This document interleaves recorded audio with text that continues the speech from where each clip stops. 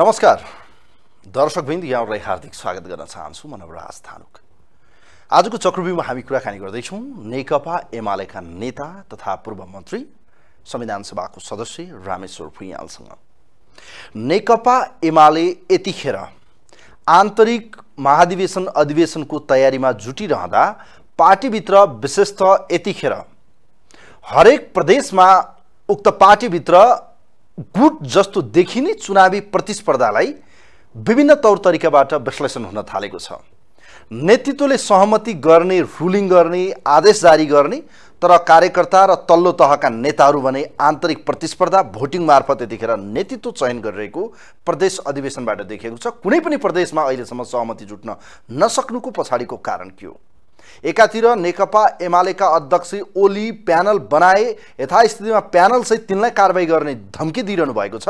त अर्कोतिर कार्यकर्ता भने चुनावी मैदानमा हौसला उत्साह र उमङ्गको साथ चाहिँ मतदान गरिरहनु भएको छ जसको पछिल्लो उदाहरण लुम्बिनी र हालसालै हिजो मात्रै बागमतीमा कैलाश ढुङ्गेल र कृष्ण प्रसाद दाहालको बिचको प्रतिस्पर्धाले पनि देखिन्छ। त अहिले कर्णालीमा आज मतदान हुँदैछ।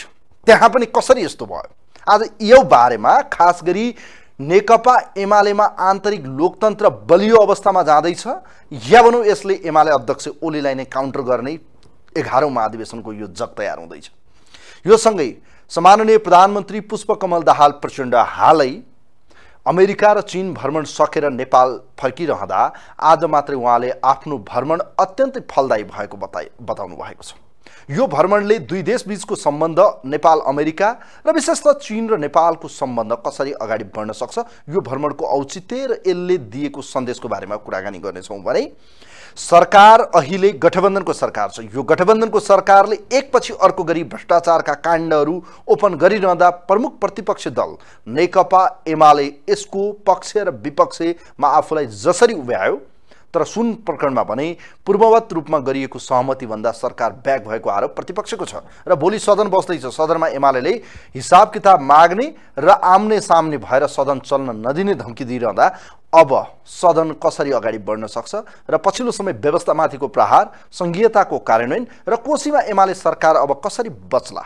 विश्वासको मत पाउने आधार के छ। आज यी यावत विषयमा कुराकानी गर्नेछौँ।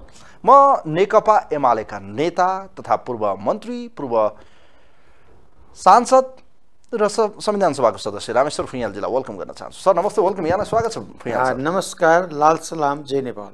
आराम हुन्छ। आराम छ। कुरा गरौँ नेकपा एमालेलाई यतिखेर एउटा चाड जस्तो देखिएको छ। यो चाडमा उत्साह बढी देखिन्छ निराशा कति देख्नुहुन्छ खास गरी प्रदेश अधिवेशनमा केन्द्रले भन्छ तिमीहरू सहमति गर। नेतृत्व पङ्क्तिको या नेतृत्वको आग्रहलाई कार्यकर्ताहरूले वास्ता गर्दैनन्। तपाईँ बागमतीको प्रभावशाली नेता हो प्रियालजी। त मलाई अब बताउनुहोस् यहाँ किन चाहिँ सहमति जुटेन र चुनावमा जानुभयो तपाईँहरू? चुनावबाट नेतृत्व आइसकेपछि यसले दिएको सन्देश के हो? बागमती प्रदेशको हिजो मात्रै चुनावी परिणाम आएसँगै कैलाश ढुङ्गेललाई नयाँ अध्यक्ष तपाईँहरूले चयन गरिरहँदा यसमा बाहिर चर्चा भएअनुसार उहाँ ओलीको निकट मान्छे हुनुहुन्थ्यो। दाहालजीलाई उहाँले रुचाउनु भएन। चुनावी प्रतिस्पर्धा गयो। यसले बागमतीमा नयाँ गुट देखिन सुरु भयो। होइन त? यहीँबाट सुरु गरौँ।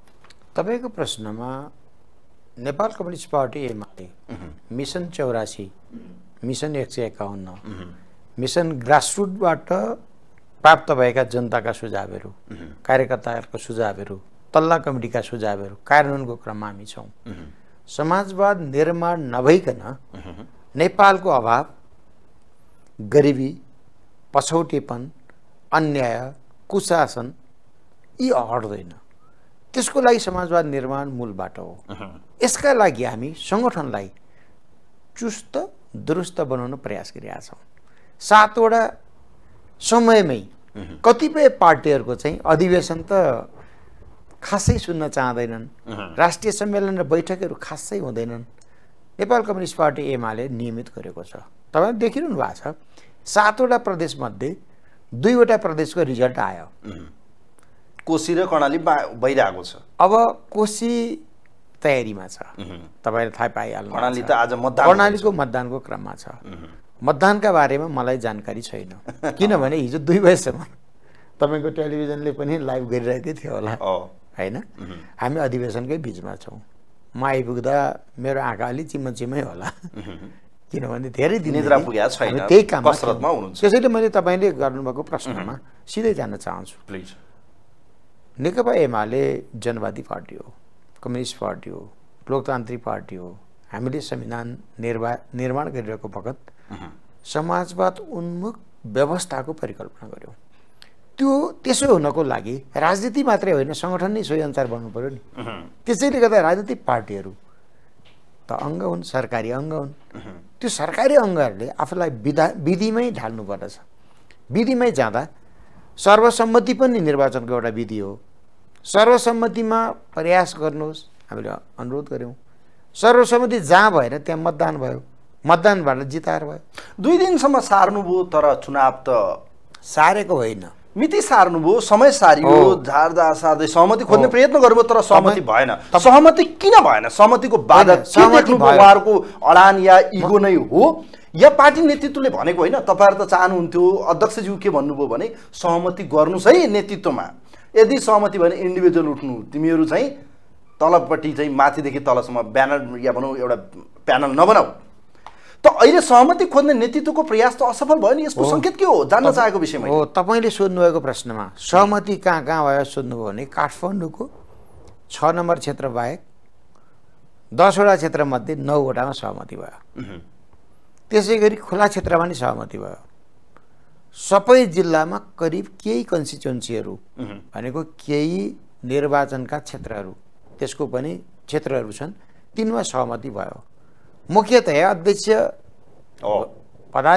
सहमति भएन तपाईँले सोधे प्रश्न त्यो हो नि. त्यही हो. र प्रेसलाई चाहिएको पनि त्यही हो।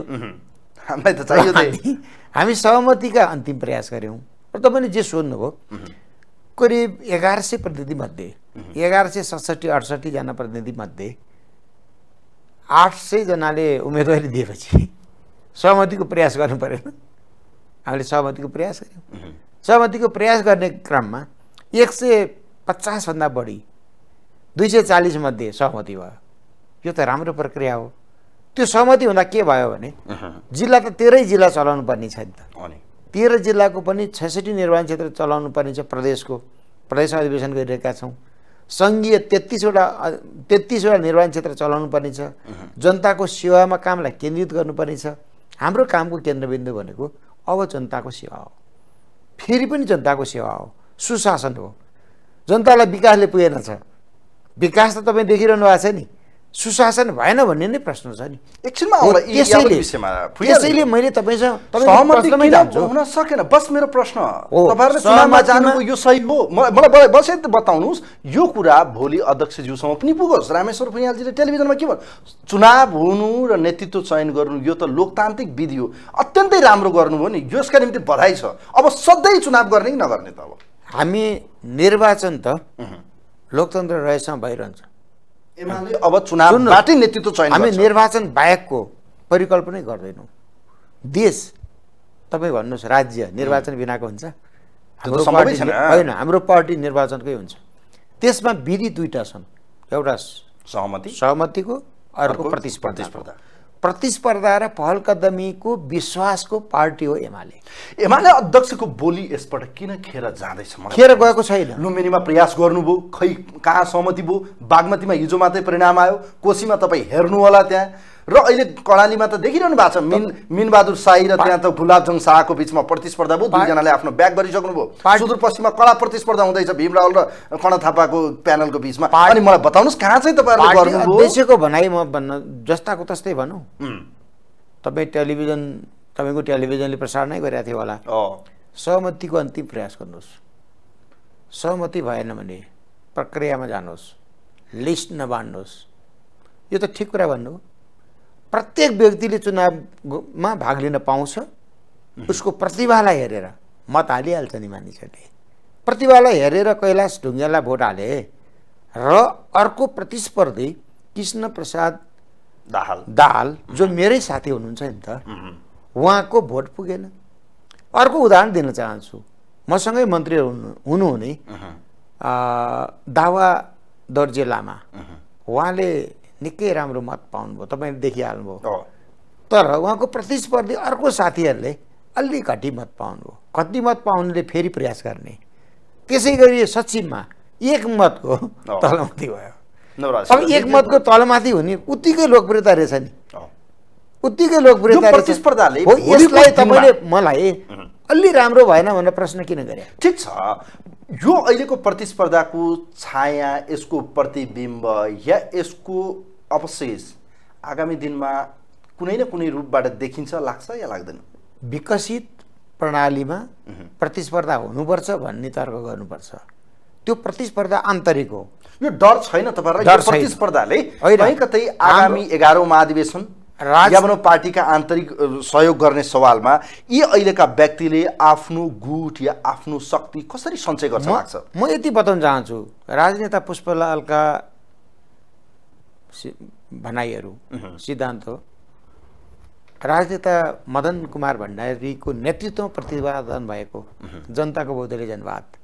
त्यसको सिद्धान्तले नै भन्छ प्रतिस्पर्धालाई पहल कदमीलाई स्थान देऊ। हाम राजनेता केपी शर्मा ओलीले जसले अध्यक्षता गरिरहनु भएको छ उहाँले भनिरहनु भएको छ सम्भव भएसम्म सर्वसम्मति गर्नुहोस्।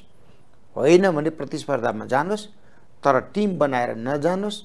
पार्टीलाई स्वच्छ स्वस्थ प्रतिस्पर्धाका लागि स्थान दिउँ भन्ने कुरा त राजनेता केपी शर्माले छ। प्रतिस्पर्धा गर्ने सवालमा गुट नबन्ने या प्यानल नबन्नु पर्ने कारण चाहिँ के?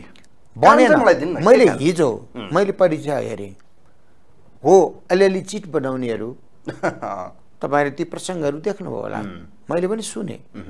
तर औपचारिक कसैले बनाउन भनिएन बनाउन लगाइएन। नेताहरूले लबिङ त गर्नुभयो। नि त। होइन नेताहरूको छाया र आशीर्वाद त देखियो क्या? तपाईँ प्रकारका भनाइहरू व्यक्ति त आफै जित्न पर्ने थियो। जित्नका लागि कसैले कसैका नाममा भोट मागे कसैले कसैका भोट नाममा भोट मागे के? त्यसलाई धेरै अन्यथा मान्नु भएन। अध्यक्षज्यूको या भनौँ पार्टीको नेतृत्वको चाहनाको व्यक्ति लुम्बिनीमा आएन। बागमतीमा आउनुभयो। अब घनश्याम खतिवडालाई त्यहाँ भनिरहनु भएको छ त्यहाँ गुलाबजङ शाह र मिनबहादुर शाही। मलाई बताउनुहोस् अध्यक्षज्यूको चाहनामा लुम्बिनीमा त आएन।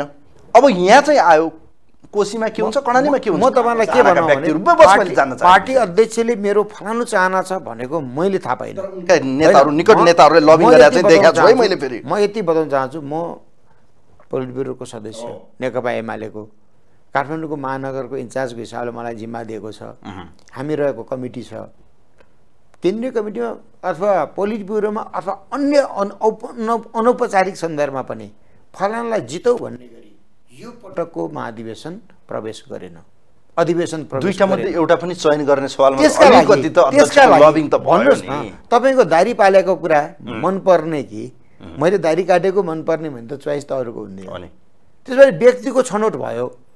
व्यक्तिको छनौटमा पार्टी अध्यक्षले फलानै छान्नुहोस् भन्नु भएन। नेताहरूको लबिङ भएन। भएन। केन्द्र स्तरको नेताको कहीँ पनि चाहना भएन देखिएन। म चाहिँ म चाहनाको कुरा मनमा थियो होला। मैले मत हाल्दा म केमा भोट हाल्ने भनेको त मलाई मन त। बाहिर आयो नि बागमतीमा गोकुल बास्कोटाले कैलाश ढुङ्गेलाई साथ नदिएको भए उहाँ आज अध्यक्ष बन्नुहुन्थेन मलाई मान्छेहरू के त्यो- प्रायोजित बाहिर आयो क्या, कतिपय त्यो- प्लेटफर्ममा हेर्नु त्यो होला। प्रायोजित कुराहरू हुन्। गोकुल बास्कोटा पनि पोलिट ब्युरो सदस्य म पनि पोलिट ब्युरो सदस्य छौँ। हामी एउटै कमिटीमा रहेर काम गर्छौँ। उहाँले मेरो फलानुलाई के त चिलाउनुलाई भन्नुभएको मैले सुनेको छैन। तर मानिसहरूले चाहिँ विभिन्न नाउँ लिएर प्रचार गरेको पाइयो। जस्तै म एउटा उदाहरण दिन चाहन्छु। म आफू पार्टीको जिम्मेवारीमा रहेको कारणले गर्दा यो पटकको अध्यक्ष उठ्न चाहन्नथेँ। किनभने पोलिट ब्युरोको सदस्यले पदेन पोलिट ब्युरोको सदस्य हुने गरी फेरि अध्य अध्यक्ष हुन किन आउनु पऱ्यो र बागमती? त्यहाँभन्दा बढीकै जिम्मेवारी छ। तर पत्र पत्रिकाहरूले सञ्चार माध्यमहरूले मेरो पनि नाम लेखेछन्। हो त। किन रहेछन् जो उठ्ने हो नि उसले अलि सेलेबल खालको न्युज बनाउनुको लागि पनि फलानुको पनि यस्तो छ भनिन्छ। अहिले मलाई के लाग्छ भने तपाईँले यो सुन्ने गरेको कुरा सत्य होइन। गोकुल बास्कोटाको नाम गाँसिएर गरिएका प्रचार। या अरू कोही नेताहरूको नाम गाँसेर गरेका प्रचारहरू चाहिँ त्यो प्रचार त हुन्। तर सत्य आधारित सत्यता होइन। छैनन् त्यसो भए तपाईँले पनि कैलाश ढुङ्गेलजीलाई मत दिनुभयो। मैले दिनै परेन। म केन्द्रीय सदस्यले भोट हाल्ने कुरा हुँदैन थियो। मतदाता नाउँले म थिइनँ म चाहिँ अध्यक्ष म अध्यक्ष मण्डलमा थिएँ अध्यक्ष मण्डल एकदमै निष्पक्ष थियो। र मर्यादित थियो। र एउटा प्रश्न म जानुपर्छ। मनभित्रमा खेल खेलिरहेको हुन्छन्। मेस्सी र कसैले? कोही मेस्सीको फ्या फ्यान होइन? फ्यान हुन्छन् कोहीहरूको। मलाई पनि लागिरहेको थियो। अध्यक्षमा कसले जित्यो हुन्थ्यो। उपाध्यक्ष र सचिवमा कसले जित्यो हुन्थ्यो। या सर्वसम्मति भयो हुन्थ्यो मलाई लागेको थियो। तर म अध्यक्ष मण्डलको सदस्य भएको हुनाले मैले कुनै प्रकार गरिनँ। सोध्नु होला। त्यहाँ लबिङ भएन? हामीले गरेनौँ। यो इन्टरभ्यू हेरेपछि फेरि थाहा पाउनु होला नि। होइन, रामेश्वर भुइयाँ मेरो कति न्युट्रल डेलिगेसन- रहनु भयो यो त अब इन्टरभ्यू होइन। मैले भनेको छु। मेरो मनमा फलानाले जिते हुन्थ्यो भन्ने थियो। तर यही कुरा हो। क्या बिजारोपण भनेकै यही हो? होइन। पार्टीमा आज जे बिजारोपण हुँदैछ त्यो- नहुने मानव मस्तिष्क हुन्छ त। मैले तपाईँलाई मलाई एउटा कुरा तपाईँलाई फुल? देखेपछि एउटा कुरा तपाईँहरू- फुल देखेपछि रातो या पहेँलो? वाह गजब रहेछ या रहन्छ भन्नुहुन्छ भनिन्छ। अब मलाई एउटा कुरा भन्नुहोस् न यहाँनिर। नेपालको अहिलेको Nepal communist party UML communist party या लोकतान्त्रिक पार्टी? Communist party. र यो पार्टी म हस्ताक्षर गरेर आउने मान्छे हो। संहिता लोकतन्त्र धर्मनिरपेक्षता समावेशिता यो त विकसित प्रणालीको सही गरेर आएको मैले संविधान सभाको सदस्यको हिसाबले। अनि त्यो व्यवस्थाभित्र हामी प्रतिस्पर्धा गरिरहेछौँ पहल कदमी गरिरहेछौँ हाम्रो पार्टी कम्युनिस्ट पार्टी हो र लोकतान्त्रिक पार्टी हो। यो दुइटा हुन सक्छ किन हुँदैन? कम्युनिस्टहरू लोकतान्त्रिक हुन्छन् लोकतान्त्रिक नेपालको? नेपालको लोकतान्त्रिकरणको मूल प्रवाह नै एमाले प्रतिनिधित्व गर्छ। यो त? एमालेको क्यारेक्टर एमालेको विशेषताहरूमध्ये पूर्ण लोकतान्त्रिक छ। हामी परिपूर्ण लोकतन्त्रको पक्षमा छौँ। भोट हाल्ने मात्रै प्रजातन्त्र हामी प्रजातन्त्र मान्दैनौँ। भोट हाल्ने मात्रै होइन। न्यायसहितको न्यायसहितको सामाजिक रूपान्तरण सहितको लोकतन्त्रको पूर्ण लोकतन्त्रको पक्षमा हामी छौँ।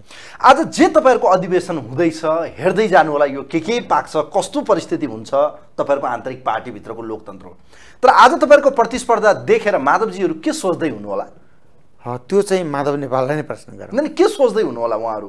म यसको जे चल्दैछ म- जे हुँदैछ राम्रो हुँदैछ त माधव। नेपालको मात्रै कुरा गर- गर्नु भएन। संसारकै प्रजातन्त्रवादी पार्टीहरू लोकतन्त्रवादी पार्टीहरू अर्थात् कम्युनिस्ट पार्टीहरूले दक्षिण एसियामा नेपाल कम्युनिस्ट पार्टी एमाले आफूलाई जनताको सेवाको रूपमा जे स्थापित गरेको छ यो यो विषयबाट लोभिरहेका होलान् प्रतिस्पर्धी नलोभिने त कुरै छैन। होइन तर यो लोक अहिले तपाईँहरूको यो आन्तरिक मैले लोकको कुरा देखेर। उहाँहरू कहीँ कतै सोच्दै हुनुहोला चौधौँ के अरे तपाईँको एघारौँ महाधिवेशनसम्म त पक्कै त्यहाँ चाहिँ अबको ओलीलाई विस्थापित गर्ने शक्ति तयार भयो कि भन्ने त लाग्छ होला नि त। उहाँहरूले भन्नुहुन्छ हाम्रा दस भाइ त्यहीँ होलान् तिनले पनि गर्लान्। जो अहिले त्यहाँ चाहिँ बुढो भनौँ न न्याकिएर बसेका छन् तिनले त भोलि त केही न केही त गर्ला यो आशा त होला तपाईँलाई केपी शर्मा ओलीसँग को जे प्रश्न गर्नुभयो नि तपाईँले उहाँ चौध वर्ष जेल बस्नुभयो। तर उहाँको दियो निभेन। जेल मात्रै होइन सेल पनि बस्नुभयो। निभेन। धेरै मानिसहरूले पाँचौँ राष्ट्रिय महाधिवेशनको म परिकल्पना गरिरहेको छु। जब नेपाल कम्युनिस्ट पार्टी माले एमाले सत्ताइस मुद्दाहरू असहमतिका राख्यो। संविधान पहिलो यो छैटौँ संविधान आउँदा। त्यो संविधान अथवा पाँचौँ संविधान आउँदा नेपालको छयालिस सालको क्रान्ति पछाडिको सत्तालिस सालको संविधान आएपछि एमाले सत्ताइस बुधा राख्यो।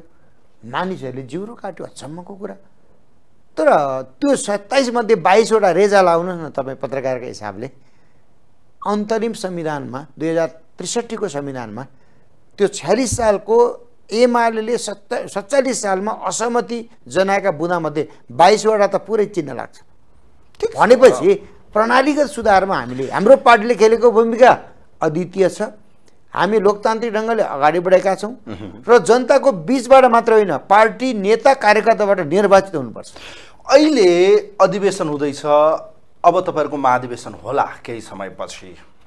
एक डेढ वर्ष भयो। धेरै पछिको कुरा हो। अब अझै साढे- तिन वर्ष करिब फेरि तपाईँहरूले हेर्नु होला मलाई एउटा कुरा बताउनुहोस्। अहिले जे यो परिस्थिति बनेको छ यहाँबाट एघारौँ महाधिवेशनमा अध्यक्ष वर्तमान अध्यक्षलाई नै अगाडि सार्ने कि विकल्प खोज्ने भन्ने पनि बहस चलेको छ। त यो परिस्थितिमा पूर्व राष्ट्रपतिको सक्रियता र उहाँको चाहिँ एक किसिमको चाहना र अहिले देखिएको पार्टीभित्रको यो आन्तरिक प्रतिस्पर्धा या अहिले प्रतिस्पर्धामा देखिएको एउटा अर्को समूह यो कहीँ कतै त्यो समूह हो कि होइन त? यो सुम जुन चाहिँ एघारौँ महाधिवेशनमा देखिनेछ तपाईँलाई सोम शर्माको कथा लोककथा थाहा छ नि। त्यो लोककथामा प्रवेशै नगरौँ। सोम शर्माको लोककथामा भुक्क लात्ताले हान्दा भन्ने सुन्नु भएको छ नि। त्यो किन त्यो कथामा प्रवेश गर्ने? हामी शोभ शर्माको कथा जस्तो गरी हिँड्ने पात्र एमाले होइन। मुलुकको आवश्यकताले अर्को अध्यक्ष अर्को एघारौँ महाधिवेशनको अध्यक्ष आज चर्चा हुने बेलै भएको छैन उत्तराधिकारी त आज परिवेश हेर्नुहोस् त तपाईँलाई म एउटा म दृष्टान्त तपाईँ- म दिन चाहन्छु र अहिले देखिएको केही हेरौँ। उत्तराधिकारीको कुरा। तपाईँको क्षेत्र नम्बर दुई यहाँ। के परिणाम आयो तिन। तिन तपाईँ दुईमा हेर्नुहोस् एकमा हेर्नुहोस् या भनौँ देशभरिको लहर हेर्नुहोस् चितवन हेर्नुहोस् तनहु हेर्नुहोस् काठमाडौँको मेयर हेर्नुहोस् के चाहिँ हो त यो सङ्केत? अब नयाँ नयाँ नयाँ के हो तपाईँले गर्नुभएको प्रश्नमा हामीले हिजो निर्वाचित गर्दा युवा पङ्क्तिलाई दस प्रतिशत निर्वाचित गऱ्यौँ। प्रतिनिधि बनाउँदा दस प्रतिशत गऱ्यौँ। न्यूनतम पनि। होइन भने हाम्रो करिब करिब करिब करिब पैँसठी सत्तरी पर्सेन्टभन्दा बढी यङहरू नै हुनुहुन्छ। तपाईँले यङ होइन भन्न मिल्छ र। अलिअलि दारी फुल्दैमा। यङ भनेको भावना पनि हो। केपी शर्माले गर्ने खालको काम र तपाईँ र मेरो काममा घन्टाको कुरा गर्नुहुन्छ भने केपी शर्माले धेरै घन्टा काम गर्नुहुन्छ। यो त मान्नुहुन्छ। मान्नुहुन्छ। उमेर उहाँको सत्तरी हो। काम गर्ने उमेर होइन र वाइडेनलाई रोक्या छ। तपाईँलाई सोधेँ मैले वाइडेनलाई सत्तरी क्रस गरेको मान्छे वाइडेनले काम गरेका छैनन् राष्ट्रपति त्यहाँका जनताले चुनेनन्। अमेरिकाको कुरा गरेँ अब भने। नीति बनाउने होइन सुन्नु न नेपालमा पनि जहाँ छ तपाईँले प्रश्न गर्नु भने केपी शर्माले अर्को अर्को पटकको अध्यक्ष हो कि होइन? सम्मान्य राष्ट्रपति फेरि राजनीतिमा आउनुहुन्छ कि आउनुहुन्न भन्ने प्रश्नमा यो चाहिँ अनुमानको प्रश्नमा म प्रवेश गर्दिनँ। जब नेकपा एमाले तपाईँले अहिले प्रयोग गरेको एउटा शब्द उत्तराधिकार भन्ने कुरा एमालेमा हुँदैन। हुँदैन। र उत्तराधिकारको व्यवस्था तोड्न म त आन्दोलनमा गएको। म पैँतिस पछि राजनीतिमा आएँ। पैँतिसदेखि सचेतनता भयो होइन पार्टीको भविष्य के उत्तराधिकारको? ठिक प्रश्न गर्नुभयो हामीसँग उत्तराधिकारी होइन निर्वाचनद्वारा हाम्रा अधिकारी छान्छौँ महाधिवेशनमा उत्तरा- ओलीसँग प्रतिस्पर्धा गर्न कुनै आउनुभयो भने त्यो पनि स्वीकार्य छ। यो पटक नै निर्वाचन भएको होइन। त कहाँ त चुनाव किन भएन? भोट। हालेर आएको म। जितेर आएको पनि हो। होइन? तपाईँले भोट घटी ल्यायो भने चाहिँ अब भीमरावल कमलले भोटै घटी ल्याउनु भयो। बाक्स हामी थप्न तर जानु त्यसपछि उहाँको राजनीति त कत्लियाम भयो नि कहाँ भएको छ? सिद्धिनु भयो। उहाँले यो कुरामा नजाउँ म तपाईँलाई के भन्न चाहन्छु भने म के भन्न चाहन्छु भने हामी निर्वाचनमा विश्वास गर्छौँ। भोलि महाधिवेशनको प्रसङ्ग महाधिवेशनपछि दस्तावेजहरू आउँछन्। नेतृत्व कसले गर्ने भन्छ भन्ने कुरामा टुङ्गोमा पुग्छ।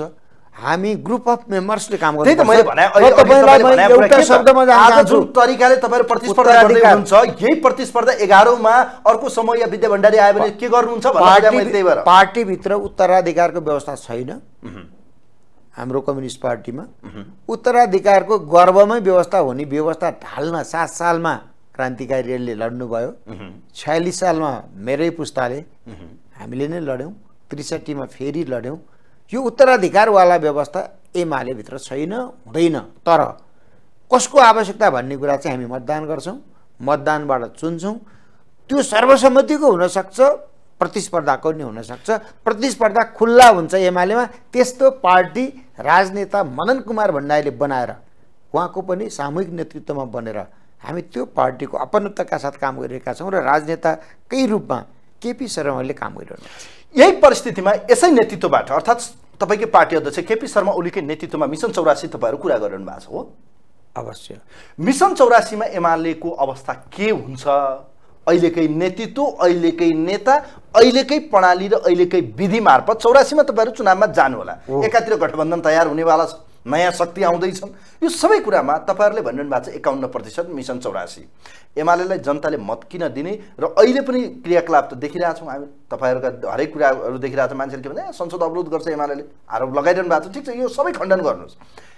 चौरासीमा तपाईँहरूलाई किन मतदान गर्ने या एमालेलाई मतदान दिन्छन् त पत्याउँछन् पुराना दललाई अब पब्लिकले? सामाजिक न्यायका लागि हाम्रो कामको केन्द्रबिन्दु सामाजिक न्याय हुनेछ। सुशासन हुनेछ। वातावरण लगायतका सबै भौतिक पूर्वाधारका विषयमा म अहिले प्रवेश गरिनँ। सुशासनका लागि हामी काम गर्छौँ। भ्रष्टाचार न्यूनीकरणको नेपाल बनाउँछौँ। त्यसको नीति भनेको चाहिँ शून्य सहनशीलताकै हुनेछ। सुशासन नेपाली जनतालाई चाहिएको कुरा हो। म एउटा मात्रै उदाहरण दिन चाहन्छु। गरे हुँदैन। गत सन् दुई हजार बाइसमा नेपालले विदे विदेश व्यापार गरेर सेवा व्यापारबाट आइटी क्षेत्रबाट सडसठी अर्ब रुपियाँ प्राप्त गर्यो। यो निर्यात भन्दा ठुलो कुरो हो कि होइन? त्यसका लागि तपाईँ जस्तै सन्तानहरू म जस्तै मानिसहरू आफ्नै कोठामा बस्छन् कम्प्युटरमा काम गर्छन् विश्वभरि तिनीहरू फिजिएका छन् दिउँसो पनि काम गर्छन् नेपालको दिउँसो हुँदा नि काम गर्छन् नेपालको राति हुँदा नि काम गर्छन्। किनभने अमेरिकामा त रात परिरहेको होला अहिले। म तपाईँ र म दिउँसो काम गरिरहेछौँ हो। अलि बढी काम गरौँ भन्ने हो भने त्यहाँको रातको काम यहाँ दिउँसो गर्न पाइएन। कति सजिलो गरी। हो कि होइन भन्नुहोस् न। र आइटी क्षेत्रबाट मैले भर्खरै आइडिएसको मैले तथ्याङ्क पढेको। म पढेरै आउँछु सडसठी अर्ब उत्पादन हुन्छ। आयो। फोटो खिच्यो भने यहाँको अथवा यहाँको नदी बगिरहेको फोटो खिच्यो भने अथवा हरियो वनको फोटो खिच्यो भने धान झुलेको फोटो खिच्यो भने अथवा हिमालको फोटो खिच्यो भने दुई सिङ्गे या एक सिङ्गे गैँडाको फोटो खिच्यो भने बाघको फोटो खिच्यो भने संसारभरि पठायो भने या खेलाडी पठायो भने हामी हाम्रो मुलुकमा पैसा आउँदैन।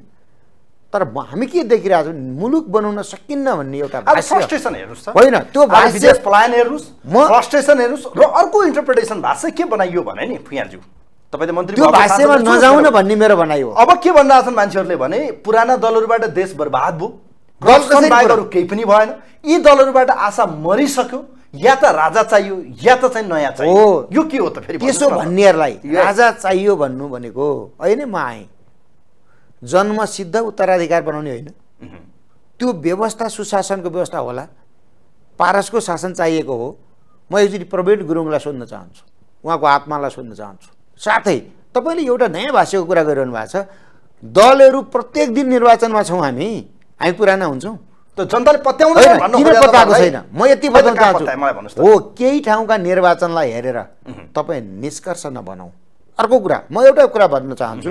हाम्रो मुलुकका केही समय अगाडि वाह वाह चल्यो सडक आन्दोलन। कसैले तयार गर्यो।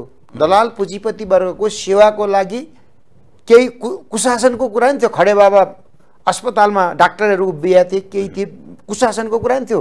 त्यसलाई विषय बनाएर कोही डाक्टरलाई हामीले सधैँभरि अ, मृत्युशय्यामा पुग्नुभयो पुग्नुभयो भन्ने कुरामा लाने र उहाँको उहाँको चाहिँ सडकको आन्दोलनको कारणले गर्दा मुलुकमा लिनै पर्ने स्वास्थ्य क्षेत्रको निर्णय गलत भयो म तपाईँको टेलिभिजन मार्फत भन्न चाहन्छु म-? के भन्न चाहन्छु भने यो मुलुकमा सुशासन थिएन मेडिकल कलेजहरूमा भने स्वास्थ्य संस्थाहरूमा भने त्यो सुशासन सुधार गर्नु राज्यको काम हो सङ्घ प्रदेश स्थानीय तह राज्यको काम हो होइन हो हाम्रो मुलुकमा अब विद्यार्थीहरू पढ्न जानको लागि विदेशी मुद्राको कुरा गर्नु पनि नेपालमा पढ्न नपाएपछि यस मात्रै तपाईँ नेपाल- यस वर्ग हो। यस यस वर्ष मात्रै करिब साढे हो। एघार अर्बभन्दा त्यो- बढी पैसा त नेपालमा। दुई सयभन्दा बढी कलेजहरू बन्द भए एक सय चान्चुन छ एक सय अडतिस चालिस बन्द भए। अनि भारतको सिमानामा सयवटा खुलिया छन्। नेपाली पैसा पढ्न हाम्रा छोराछोरीहरू विदेश जानु पऱ्यो। पऱ्यो परेन पर्यो त। तपाईँलाई भन्नु खोजेँ यसका लागि सुशासन गर्नु के पर्थ्यो भने मेरो यहाँ मानव पि खटिएर आयो भने? डन्डीफोर आयो भने यसलाई डन्डीफोरै भनौँ न छैन अहिले। डन्डीफोर आयो भने गालै काट्ने कुरा भयो कि त्यो आन्दोलन? गालो चाहिँ जोगाएर डन्डीफोर मात्रै फाल्नु पर्थ्यो। खडे बाबा खडे बाबा अस्पतालहरू खडेबाट डाक्टरको म विरोधी हो। तर गालो काटियो के? यो कुरो त मान्नुहुन्छ? सिटिबिटीमा प्राविधिक शिक्षामा अध्ययन गर्नेहरू म एउटा कुरा भन्न चाहन्छु प्राज्ञिक शिक्षा प्राविधिक शिक्षा र सिप शिक्षा नेपालमा त आवश्यकता हो। भन्नुभयो नि त नेपालमा प्राइभेट सेक्टरका नाममा चाहिँ विभिन्न विश्वविद्यालय कलेज। सम्बन्धन दिनु हुँदैन। बस त्यही थियो त। यसका लागि। सरकारी लगानी गरौँ सरकारले हो उहाँले भनेको छिमेकमा बढ्ने गरी म कोही व्यक्तिलाई भनिरहेको छैन। हामीले शिक्षा नीतिमा हाम्रो स्वास्थ्य नीतिमा कमजोरी छ। सुधार गरौँ त्यही हो सुशासन। त्यो सुशासनको मुद्दामा मैले उठाउनु खोजेको कुरा यो हो। के यो कुरा यो विषय त सुनिरहनु भएको छ टेलिभिजन तर पब्लिकले किन चाहिँ यो रिजल्ट खोजे कि व्यवस्था परिवर्तन गर्नुभयो तपाईँहरूले? व्यवस्था- तर संविधान पनि आयो गणतन्त्र पनि आयो तर देशमा देशबाट युवाको पलायन रोकिएन देशमा रोजगारी भएन उद्योग धन्दा भएन शिक्षा तहसमा स्वास्थ्य कर्मी सडकमा स्वास्थ्य क्षेत्रमा डाक्टर गुटिन थाले यो देश बर्बाद भयो अब बालेन देश बचाउ हो। राजा देश बचाउ हो। यो परिस्थिति बनाउने दोषी त तपाईँहरू र कङ्ग्रेसीहरू होइन। हो यसका लागि। माओवादीहरू होइन? नेपाल कम्युनिस्ट पार्टी एमाले जति वर्ष हामीले सरकारमा रह्यौँ त्यसको हामी जिम्मा लिन्छौँ लिनै पर्छ। आजको परिस्थितिको होइन। दोषी त हो नि त होइन। त्यसको लागि जिम्मा लिन तयार हुनैपर्छ तर लामो समय त कङ्ग्रेस भयो नि। त्यही त मैले भन्दैछु होइन त, माओवादी होइन, पटक- पटक पटक माओवादी भयो त्योभन्दा अगाडि पञ्चायत थियो नि त राजाकै शासन थियो नि राजाको पालामा सब ठिकठाक थियो कसरी ठिकठाक थियो उहाँहरू सब ठिकठाक होइन म सोध्न आज बर्बाद पार्नुभयो ज्ञानेन्द्र हिजो भनिरहनु भएको छ तपाईँ र मैले यसरी वार्ता गर्न पाइन्थ्यो राजाको शासनमा ज्ञानेन्द्रको शासनमा तपाईँहरूको पनि इन्टरनेट काट्या होइन कि बिर्सनु हो हो कि काट्या होइन हो त्यसैले मैले के भन्न खोजेँ भने व्यक्ति एकजनाको शासन होइन मतदान दिएर सार्वभौम अधिकार आवधिक रूपले दिनी प्रणाली र त्यसका लागि व्यक्तिले होइन। राजनैतिक दलहरूको बिचको प्रतिस्पर्धाकै प्रणाली हामीले रोज्या हो। यो प्रणाली संसारभरि लोकप्रिय प्रणाली हो। यसको सट्टा अरू प्रणालीमा पनि शासन त चलेकै छन् नि। त्यसैले हामी विकस संसारको विकसित प्रणालीमै छौँ। शासन व्यवस्थाको त्रुटि होइन। शासन व्यवस्थाका त्रुटि छन् त संविधान संशोधनद्वारा गरौँ न। निर्वाचनको प्रणालीमा त्रुटि छन् त्यसलाई गरौँ। अरू खालका मात्रै- कमजोरीहरू छन् त्यो सुरु गरौँ। तर के भने तपाईँले व्यवस्थाको हिसाबले ठिक छ त मैले भन्दैछु अब अर्को प्रश्न यही व्यवस्थाको विकल्प। लोकतान्त्रिकै व्यवस्था। अरू हुन सक्दैन। ठिक छ। अर्को व्यवस्था हुन्छ। हिजो मात्रै हालसालै एउटा चुनावबाट नयाँ शक्तिको रूपमा फोर्थ फोर्सको रूपमा आएको रवि लामिछानेको पार्टी राष्ट्रिय स्वतन्त्र पार्टीका अध्यक्ष रवि लामिछानेले के भन्नुभयो भने तिमीहरूसँग असी छ एकासी छ बयासी छ तिरासी छ चौरासी हाम्रो है फेरि। तिमीहरू अहिले यो चार वर्ष मिल सच्याउ सुध्र्यौ हामीलाई हटाऊ हाम्रो जमानत जफत गर। तर चौरासीमा चाहिँ अब दुईवटा सटर खुल्नै सक्दैन एउटा दोकान बन्द हुनैपर्छ दुईवटा तपाईँको यो चाहिँ पसल खोल्नु हुँदैन भनेर उहाँले भन्नुभएको छ। अर्थात् पुराना दलहरूको समय फेज आउट हुँदैछ। मिल तिमीहरू सबै सहमति गर चलाउ सरकार सुध्र्यौ बस यति छ मेरो भनाइ। होइन भने चौरासीमा जनताले अब दुईवटा पसल खोल्नु हुन्न एउटा त बन्द गर्नैपर्छ या त हामीलाई हराइदिनुहोस् या त अहिलेका पुरानालाई हराइदिनुहोस्। यो भन्नुको अर्थ के हो? त्यो अर्थ उहाँले नै भन्नुहुन्छ। म तपाईँको लोकप्रिय टेलिभिजन मार्फत भन्न चाहन्छु। उहाँले पनि राजनीतिक दलमै आउनु आएन। हो उहाँको दल हिजो पो हिजो पो नयाँ थियो त। चौरासीमा नयाँ हुन्छ। चार वर्ष हुन्छ हुँदैन। पाँच वर्ष हुन्छ नि। पाँच वर्ष हुन्छ हुँदैन। एउटा। अर्को कुरा दलीय प्रजातन्त्रमा आइसकेपछि लोकतन्त्रमा आइसकेपछि उहाँले सरकारी गाडीलाई डेन्ट पेन्ट गरेर रङ्गाउनु नहुने रङ्गाएर निलो हरियो बस बनाएर चलाएको होइन। त्यो कति दिन टिक्यो? सेवा दिन्छु भनेर होइन कति। दिन टिक्यो? मैले तपाईँलाई सोधेँ कति दिन टिक्यो? कति घन्टा टिक्यो होइन न। कति दिन दिन भनौँ न घन्टा किन कति दिन टिक्यो? त्यो म के देख्छु भने दलहरू बिचको प्रतिस्पर्धा जनताले हेरिरहेका छन्। जनताले मनपर्ने दल छान्छन्। त्यो जनताको सार्वभौम अधिकार हो। म चौरासीमा पनि त म त बाँचेकै हुन्छु। चुनाव तपाईँ। टेलिभिजन बोलाइहाल्नु बोलाइहाल्छु म उठाउँला या नउठाउँला सवाल होइन। तर के हो भने सबै दलहरूभित्र यो निर्वाचन प्रणालीलाई बदलेन भने या त निर या त ठुल्ठुला ठुल्ठुला राजस्वको हानि नोक्सानी गर्नेहरू। या यो निर्वाचन प्रणालीलाई बदलेनौँ भने एकपटक बाहेक मान्छे निर्वाचनमा जानै सक्दैन। त्यति अर्को कुरा अर्को भएको भयो। अर्को कुरा जनतामा पनि जनताले तिनको घोषणापत्रै नपढिकन जन भोट हाल्ने। यो पटकको गठबन्धनलाई भोट हाल्नु भनेको कसको घोषणापत्रको आधारमा भोट हाल्यो? तपाईँको टेलिभिजन मार्फत भनिदिनु न। गठबन्धनको अलग अलग पार्टी थिए।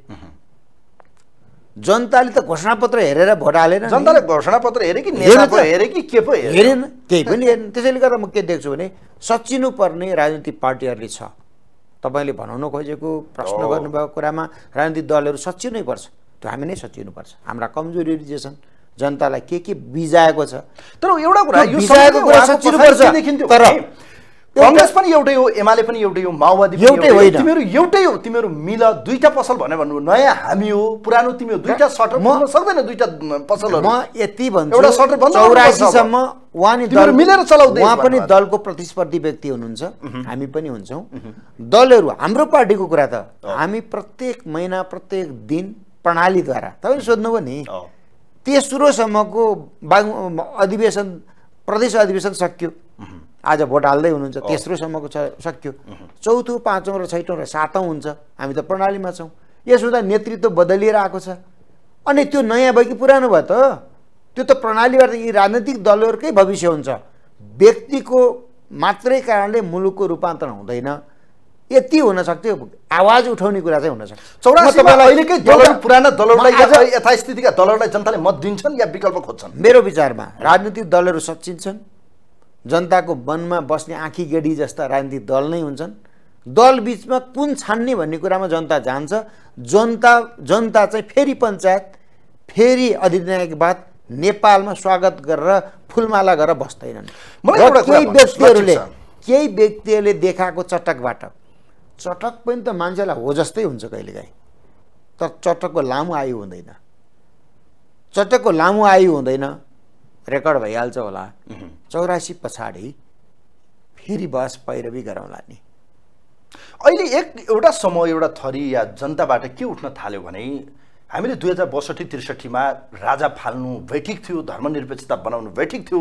आज राजा चाहिन्छ यो देशको धर्म मासियो अब हिन्दू राष्ट्र बनाउनुपर्छ। आवाज सुनिँदैछन् कैयौँ ठाउँमा तपाईँले साम्प्रदायिक साम्प्रदायिक रूपमा सामुदायिक रूपमा या समाजमा त्यो घटना देखिरहनु भएको छ। केही दिन पहिले भक्तपुरमै तपाईँले जात्रामा एउटा देखिसक्नुभयो पूर्व राजाको आगमनलाई कसरी हेऱ्यो? इन्द्र जात्रामा बालनजीको क्रेज तपाईँले देखिसक्नुभयो। त अहिले मान्छेहरूले के भन्दैछन् भने अब यो व्यवस्था होइन राजा चाहियो। यो किन आवाज उठ्यो या हुने सम्भावना या राजाको दौडाहा या नागरिक अभिनन्दन के हो लाग्छ तपाईँलाई?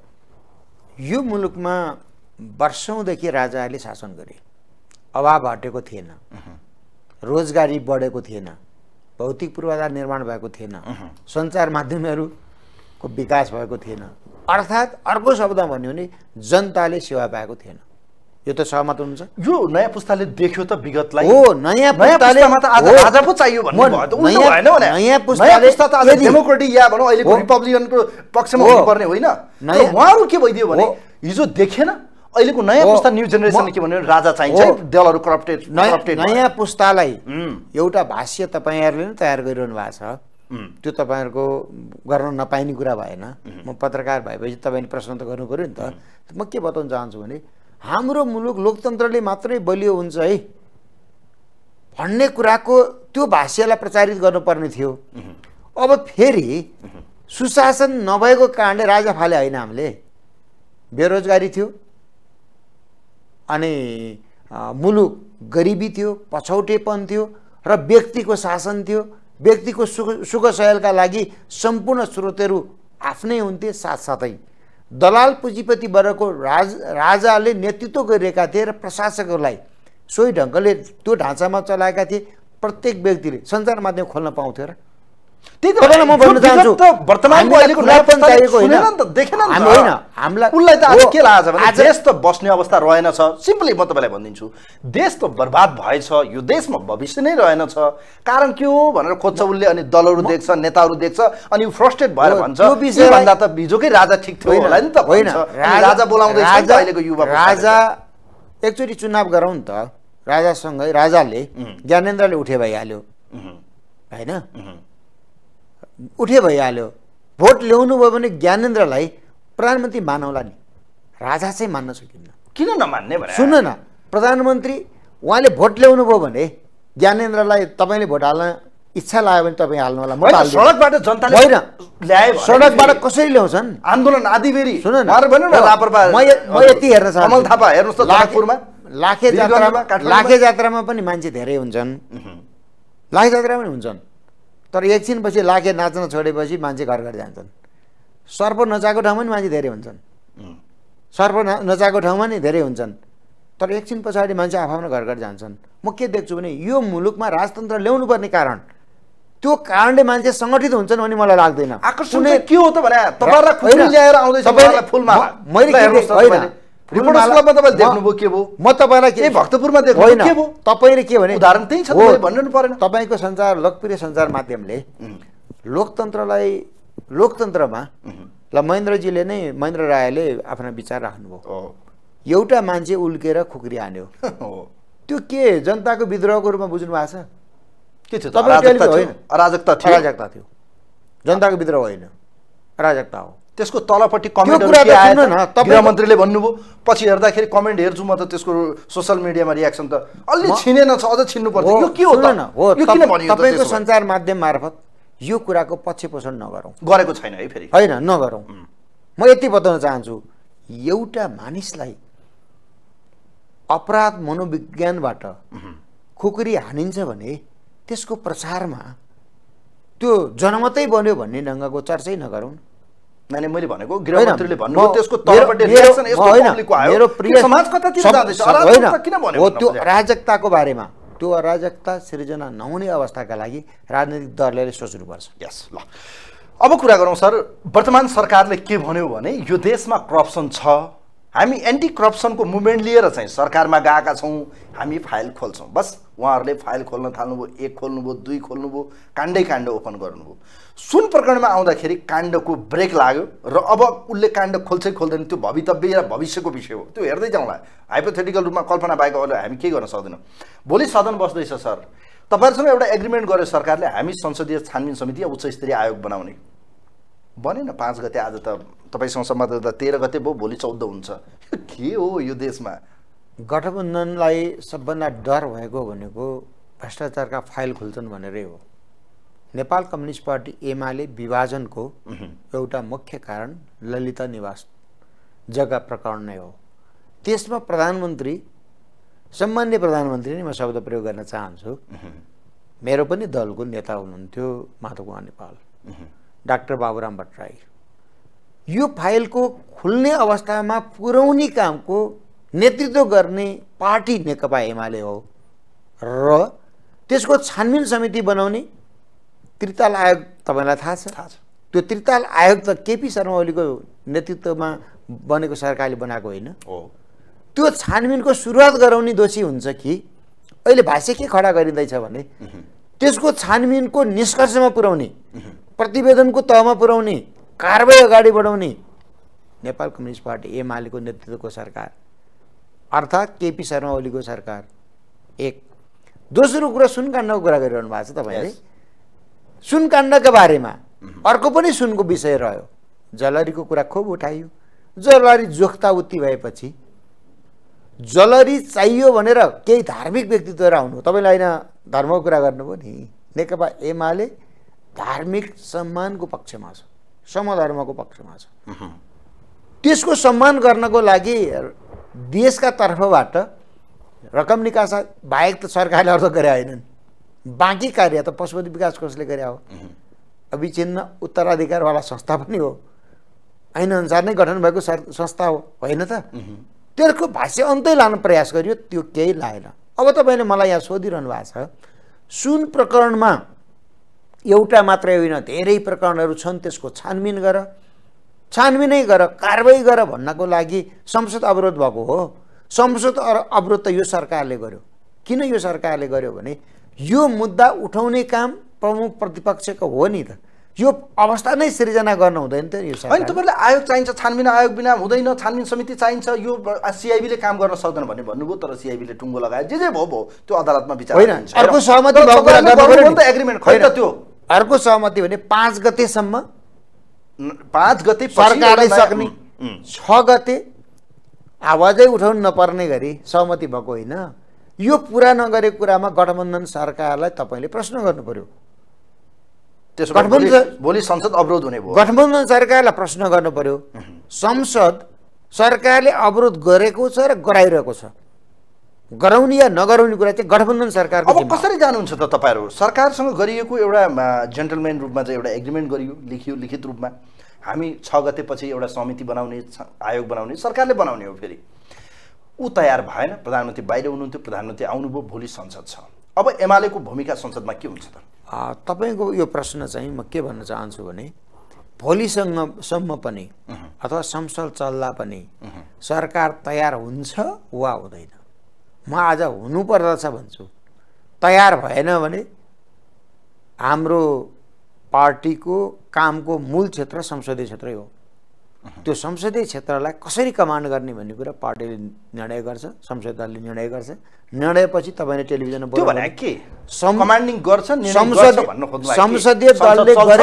संसदीय- दलले मुद्दा बोल्न पाइन्छ। या पाइँदैन? जनताको मुद्दा हामी उठाउँछौँ। यसमा दुविधा छैन। के निर्णय गर्छ भने चाहिँ संसदीय दलले निर्णय गरेपछि तपाईँको सञ्चार माध्यमले पाइहाल्छ। हतारोमा म आज किन बोल्ने? ओके अब सर अहिले प्रदेश संरचना र केही अलिअलि देखिएका तत्त्वहरूको बारेमा संवाद गरौँ। तपाईँ पूर्व मन्त्री पनि रहनुभयो प्रदेशको पहिलो अनुभव पनि तपाईँसँग रह्यो। सर अहिले कोसीमा तपाईँहरूको सरकार छ अन्यमा पनि देख्यौँ। बडो अस्थिर जस्तो देखियो अल्पमत जस्तो छ। त्यहाँ बहुमत पाउनुपर्ने छ विश्वासको मत लिनुपर्ने छ समय घर्किँदो छ बिस गतेभित्र त्यहाँ विश्वासको मत लिइसक्नुपर्ने छ चौथो पटक त्यहाँ मुख्यमन्त्री फेरबदल भयो। पाँचौँ पटक के हुन्छ त्यो त हेरौँला। तर अहिले तपाईँको पार्टीका नेता हिक्मत कार्कीले त्यहाँ विश्वासको मत पाउने आधार छ या त्यहाँ मध्यावधि सम्भावना देख्नुहुन्छ या सहमतिको कुनै अर्को कुनै पाटो तपाईँले देखिरहनु भएको छ? मलाई सिधै प्रश्नमा म जान चाहन्छु। बनाएको संविधानभित्रबाट मैले कुरा गर्नु पर्यो।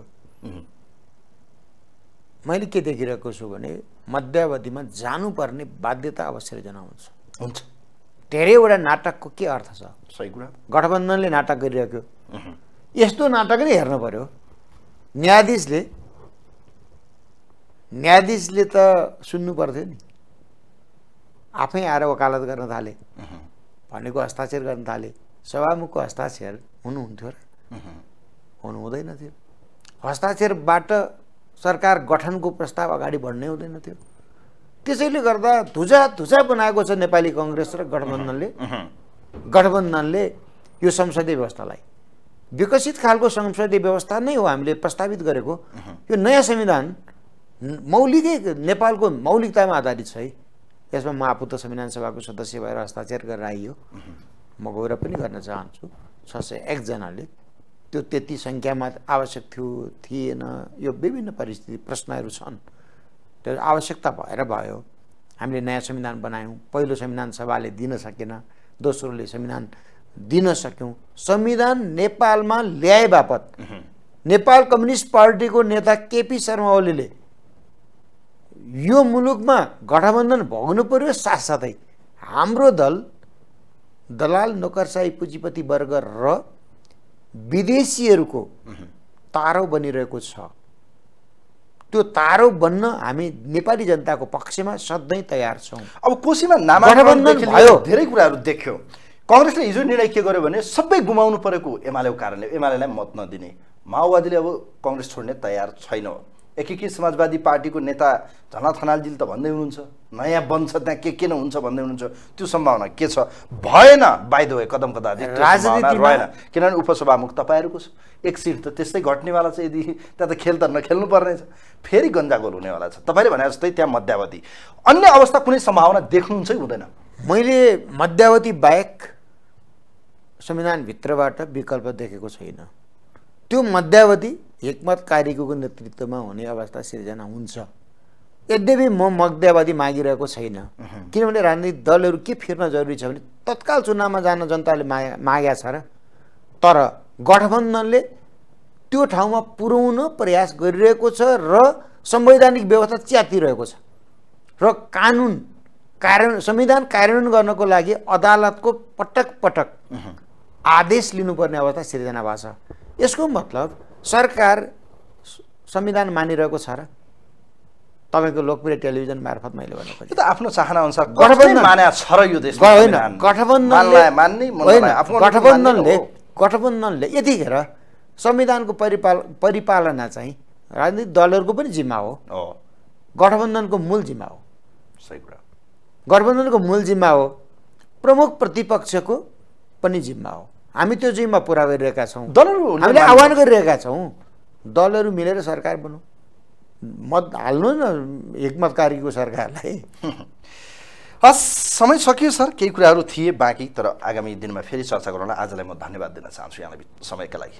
लाल सलाम जयपाल धेरै धेरै धन्यवाद। छ दर्शकबिन संविधान सभाको सदस्य पूर्व मन्त्री रामेश्वर फुइयाल आजको अतिथि हुनुहुन्थ्यो। उहाँसँग समसामयिक देशको विषय खास गरी एमालेको चाहिँ महाधिवेशन अधिवेशन र सँगै चाहिँ अन्य विविध सवालमा खास गरी जनतामा देखेको फ्रस्ट्रेसन देशबाट युवा पलायनको अवस्था किन बन्यो यो रोक्न दलहरू कति सफल होला यिनै विषयमा कुराकानी गऱ्यौँ कार्यक्रम हेरिदिनु धन्यवाद दिँदै यो अङ्कबाट म पनि बिदा हुन्छु। नमस्कार।